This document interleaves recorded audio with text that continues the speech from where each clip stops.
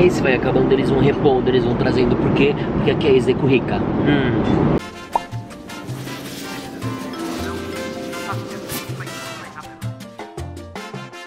Tô aqui prestes a entrar no meu último voo com a Air Canada, dando a volta no globo, do Japão até São Paulo no Brasil. E quem vai viajar de Zeco Rica? E quem vai viajar de Zeco Rica?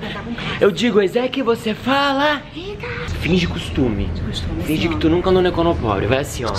Não, Ca- cara, entrega. cara de quem nunca dormiu na vertical. Não, tem que fazer cara de quem nunca dormiu na vertical, de quem sempre dorme em cama flatbed.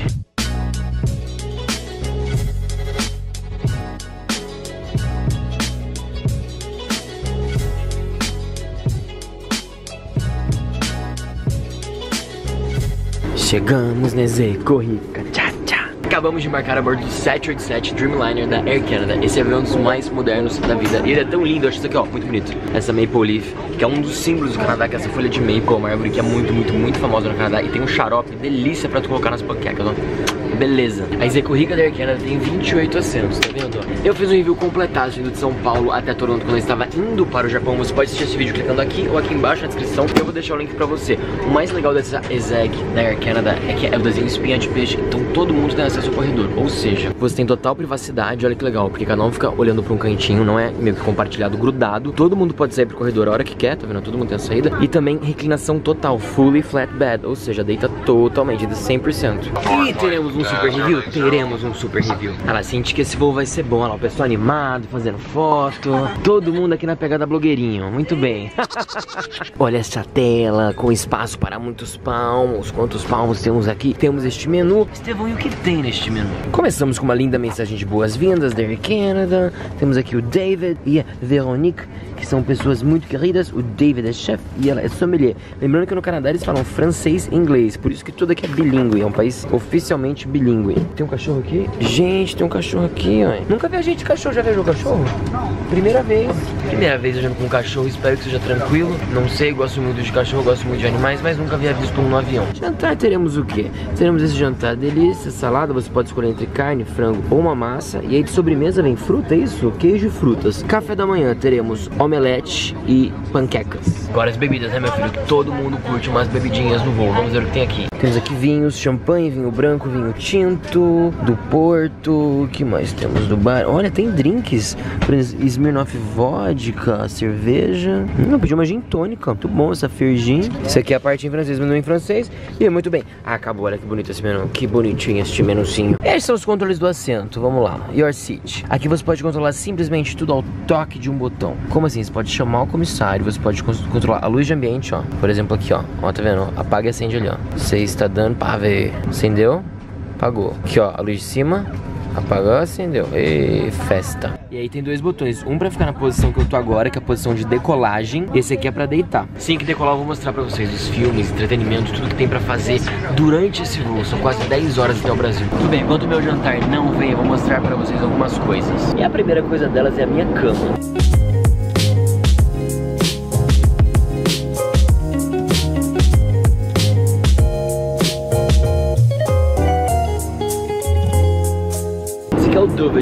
Pra forrar a cama.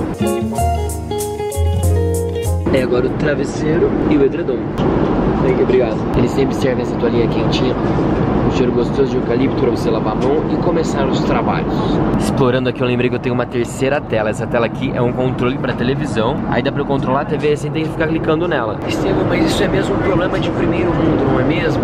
É. Se você tá deitado, você não quer ficar esticando o dedo pra, pra mudar de canal. Você pega isso aqui, ó. Aqui rapidinho, olha que fácil. Isso aqui, beleza. Puxa. E do conforto do seu leito, você controla toda a programação da Air Canada. Some bread. Sure. Garlic. You. And what would you like to drink? Have some white wine and water, please.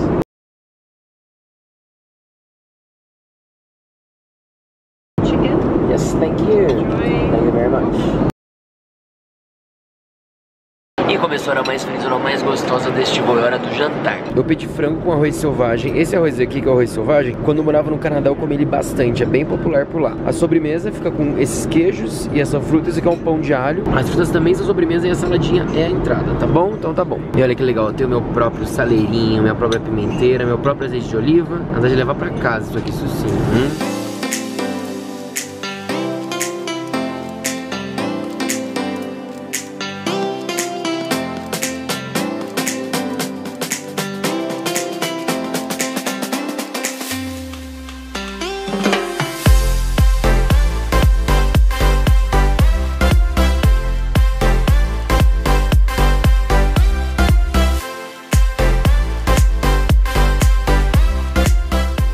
esse é vai acabando, eles vão repondo, eles vão trazendo por quê? Porque aqui é execurrica. Hum. E assim funciona.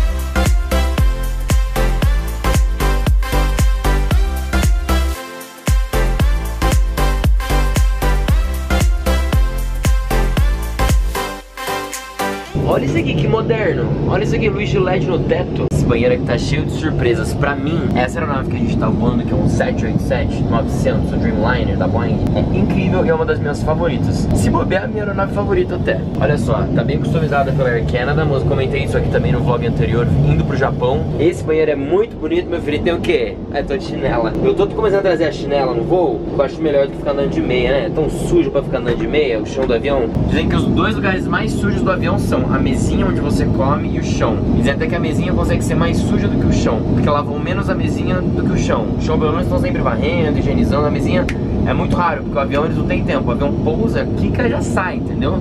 A mesinha eles têm que parar, limpar mesinha por mesinha. Isso, isso é feito quando o avião fica muito tempo parado. Eu acho esse botão aqui super legal, ó. Pra você deixar a janela preta, agora branco, você vem aqui na bolinha. É muita magia. Mentira, não é magia, é tecnologia. E gente, eu tô olhando agora na internet. Vocês têm ideia de quanto que custa voar na executiva de São Paulo até o Japão, ou do Japão até São Paulo? Vou colocar aqui na tela pra vocês darem uma olhadinha.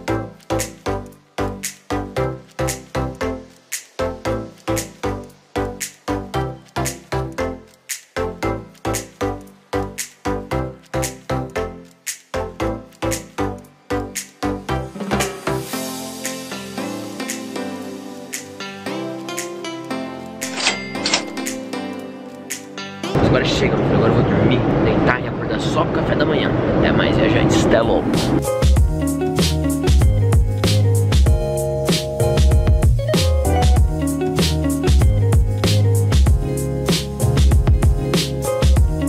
Pronto, meu filho, quem acordou desesperado pra morder uma panqueca canadense com muito maple syrup? Maple é aquela árvore que eu mostrei pra vocês, tem um xarope que é uma delícia que é esse aqui, ó. Quando eu morava no Canadá, eu adorava comer isso aqui no café da manhã. Por isso que eu devo ter engordado uns 16 quilos. Chega café da manhã bem caprichado, croissant, frutas, olha, tem blueberry, adoro blueberry, um iogurte também de blueberry, as panquecas famosas, uma salsicha no meio da panqueca, bem canadense americano isso aqui, um cafezinho, vamos comer.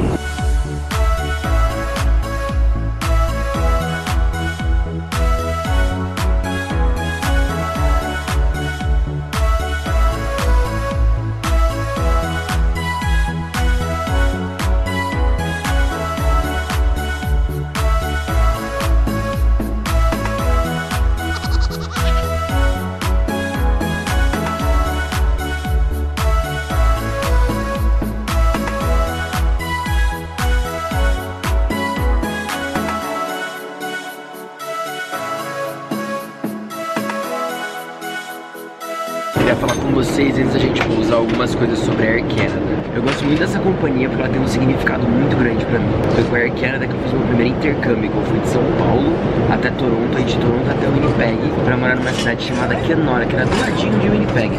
Eu fiz tudo isso com a Air Canada, então foi a minha primeira vez viajando sozinho, foi com essa empresa.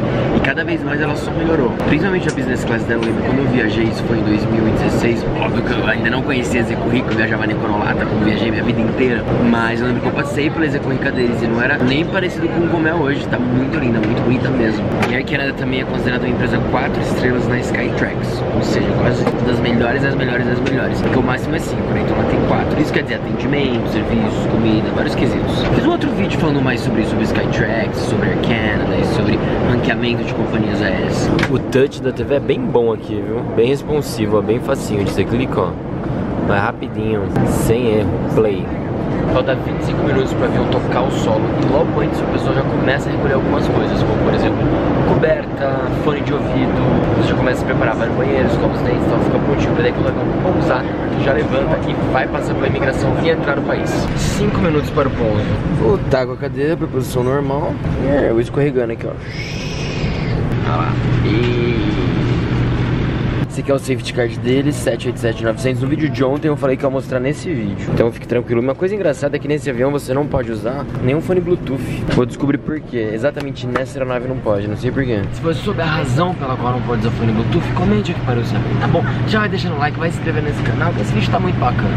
Para do pouso, estamos quase chegando em Guarulhos agora. Olha lá, o cachorrinho se comportou super. Quase não latiu, veio tranquilinho. Muito bom. E vai pousar em 3, em 2 e 1. Ah, chegamos em Guarulhos.